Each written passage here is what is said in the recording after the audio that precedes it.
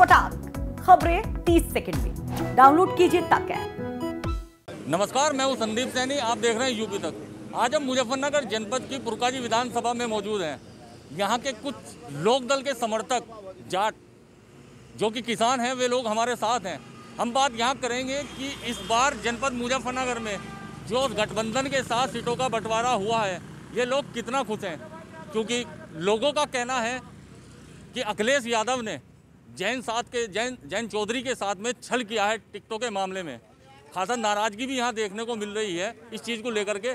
इसीलिए लोकदल के जो समर्थक हमारे साथ हैं इन्हीं से बात करेंगे कि आखिर ये कितना खुश हैं और कितना ये नाराज़ हैं।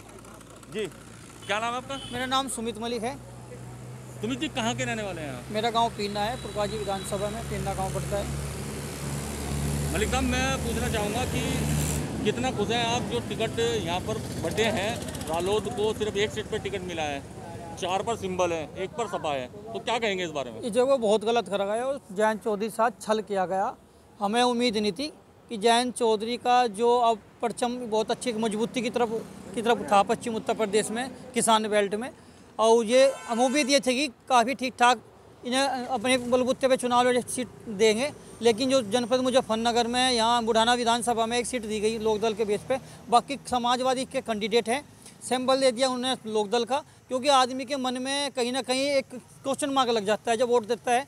अगर खुद का कैंडिडेट होता है उस पर आदमी हिम्मत से सहानुभूति उसकी होती है एक दूसरे को पकड़ के लाता है चल भाई एक मतलब एक लगाव होता है ऑटोमेटिक नेता के प्रति। आ, जा, जाट बेल्ट में एक लीडरशिप अच्छी जैन चौधरी की मानी जाती है। तो उन्हें कम सीट दे के बहुत गलत करा, ऐसा करना नहीं चाहिए था। कि एक अच्छी सीट देते, क्योंकि यहाँ उनकी मज़बूत बेल्ट है, पश्चिम उत्तर प्रदेश में छः विधान सभा सीट यहाँ पे है तो उसमें इन्हें कम से कम इन्हें ज़्यादा जर देते पूर्व साइड में समाज, समाजवादी पार्टी लड़ लेती। आप आप लोग रालोद का वोट बैंक माने जाते हैं यहाँ के लोग। आप क्या कहेंगे कि अब क्या स्थिति होगी? जब एक टिकट सिर्फ़ रालोद को यहाँ से मिला है, बाकी सिंबल पर सपा के प्रत्याशी लड़ रहे हैं। आपके क्षेत्र से भी सपा का प्रत्याशी है। सिंबल लोक दल का है तो अब मतदाता कहाँ जाएगा? मतदाता अब सोच, सोचना पड़ेगा उसे।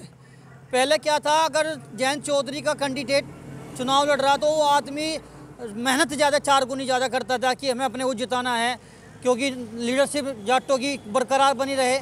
उसे उस पर देखना था। अब हकीकत में क्या है कि जब सिंबल दूसरा का हो जाता है, कैंडिडेट समाजवादी का जीतने के बाद पता लगा वो समाजवादी का। उन्हें कह दिया कि तो समाजवादी से जीता।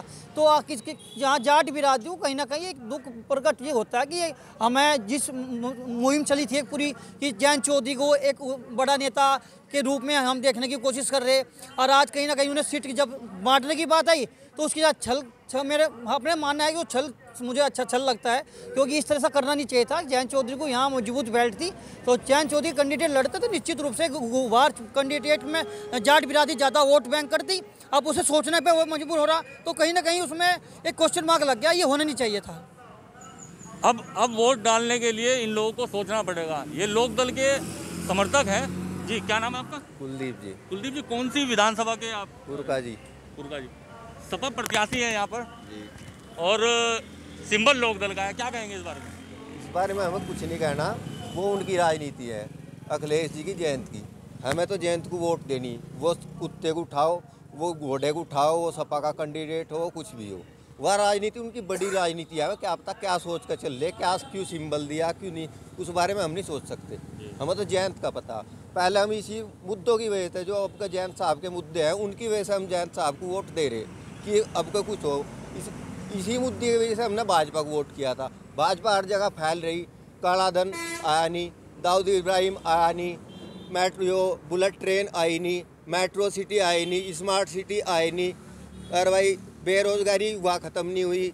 और जी, एक मुद्दा और था इनका हाँ ये जो इन्होंने नोटबंदी करी थी उसका कोई फ़ायदा नहीं। जब ये अपने मुद्दे पर उतरे किसानों का कुछ नहीं करा। साढ़े चार सौ का भाव का थे वो नहीं मिला।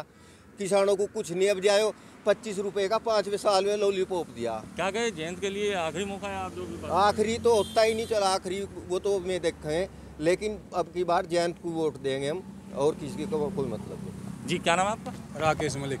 राकेश जी कहाँ के रहने वाले हैं आप? पीन्ना गाँव और विधानसभा है। प्रत्याशी यहाँ से सपा का है, लेकिन सिंबल लोकदल का है। आप लोग लोकदल के समर्थक हैं। क्या कहें कि मुजफ्फरनगर के सीटों के बंटवारों को लेकर के क्या जैन के लिए, जैन साहब के लिए सही हुआ है या गलत?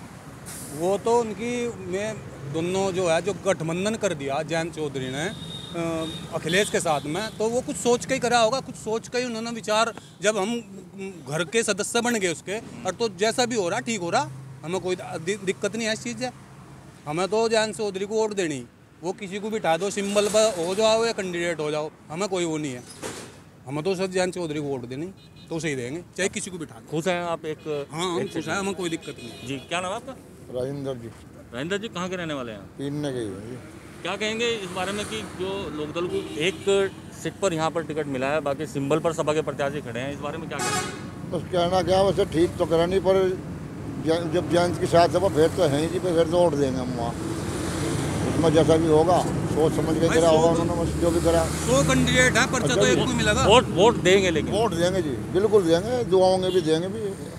ऐसी बात नहीं पूरी हिम्मत से करेंगे काम। कैंडिडेट जो है। जी जी क्या नाम है आपका? प्रदीप।